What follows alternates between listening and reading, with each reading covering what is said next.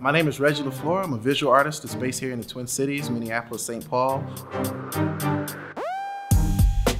I am a visual artist that uh, uses spray paint, stencils, acrylic paint markers, canvases, wood panels, all kinds of different surfaces to create work that's inspired by street art and illustration and graffiti culture and that sort of thing. For the city edition, I painted a portrait of Kat, uh, kind of using the uh, combined methods of stencils and you know, spray paints and paint markers. Also added a little bit of a glow technique, add some like cool like lighting effect that I wanted to try to create with the portrait. In turn, it uh, uh, is being used in a couple like merchandise items, so t-shirts and sweatshirts and whatnot. So yeah, this uh, City Edition is just a really amazing platform to really showcase black talent, especially considering that this black talent has just been in the city, you know, for, for years. You know, having City Edition sort of uh, aim to celebrate that is just a really cool opportunity for me. This work is just something that I'm just really proud of and, and, and happy to be a part of. So.